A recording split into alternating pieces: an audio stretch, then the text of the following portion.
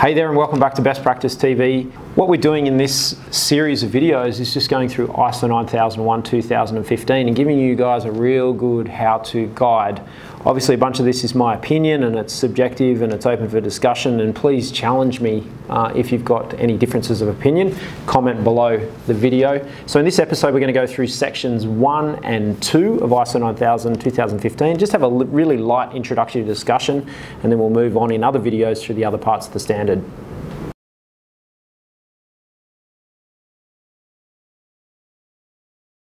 Okay, when we look at section one of ISO 9015, and if you've been following these videos, this isn't the first video in the series because it's not where I think you should start. So please go back to the beginning of the playlist in the channel and have a look through some of those videos. Have a look for the other episodes uh, and, and look at the series. So today we're talking about, or in this session, we're talking about uh, section one scope. And I'll just quickly touch on what the standard says and then I'll give you some guidance and some ideas on how to go about approaching uh, this part of the standard.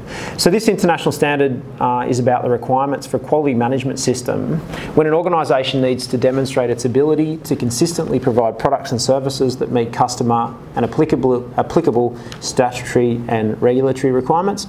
Um, and, and it's an organisation that aims to enhance customer satisfaction through the effective application of the, obviously that system, including processes for improvement of the system and assurance of conformity to customer and applicable statutory and regulatory requirements. That is a massive mouthful. Um, and I think people get lost Look, at the end of the day, this whole concept, and we campaign here at Best Practice, is this theory of winning formula and understanding that the winning formula is there, obviously, so that you can win, but for high performing organisations and other organisations who wish to become high performing organisations to have a process of self evaluation. So I think what's really important, particularly you know, day to day with your team and the people, you know, an organisation's obviously made up of a bunch of people, whether it's you and you're going to have more people join you or whether you've got 10, 15, 20,000 people, it really doesn't change. I think what's really important is to understand that this self-evaluation, this improvement system applies to this team, it applies to this department, it applies to this division. Those are the things to consider as you go forward. So as we look at all the requirements of the international standard being generic, they're intended to be applicable to any organisation, and I've seen this done in organisations with 400,000 staff. I've also seen it uh, you know, applied to organisations with one staff member and that company just works a couple of days a week. Uh, the intention is that you can look at and apply and have a think about every part of this standard all the way through, which I think is a great thing and something to take on board. Too often people say, oh, you know, that doesn't really apply to an organisation like ours.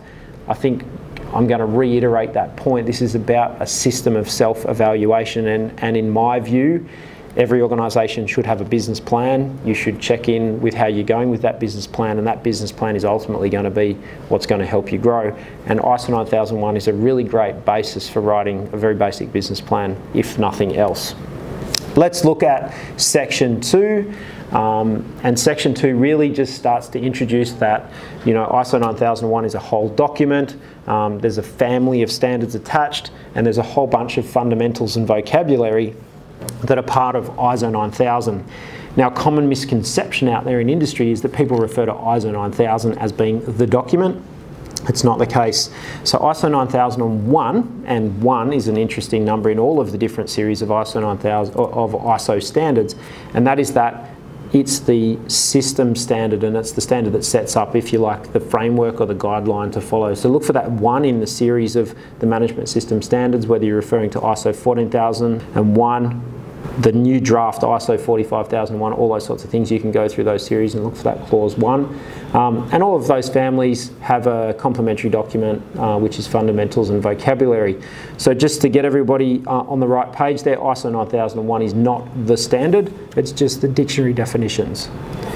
Looking at section 3 of ISO 9001 2015, it just talks about terms and definitions. And there's different references to terms and definitions as you go through the standard. I'm not going to go through those in detail today. I think they're best read and understood and applied in the context of your organisation. Again, if you've got any comments, comment below in this video and we'll monitor those comments and respond to you. Uh, or you can email us uh, at Best Practice Headquarters. So um, we'll finish up there with this video series and we'll move into the next video uh, which is section four, context of the organisation. See you soon.